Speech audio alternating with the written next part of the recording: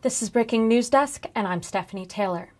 We have breaking news that a couple was killed in their Grand Lake home when the East Troublesome fire roared through Grand County, sheriff says. Glenn Hileman told news that he and other members of his family believe his parents, 86 year old Lyle Hileman and 84 year old Marylin Hileman, perished in the fire. Hileman said his father had told him that him and his wife were going to the basement of their home in Grand Lake as the fire encroached Wednesday night.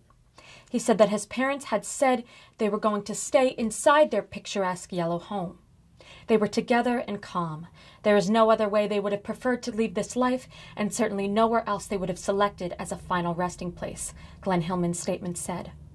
No other missing persons have been reported dead due to the fire.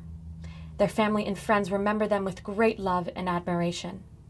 If you have or know of a fundraiser started on behalf of those affected, Share it with us below so we can let others know.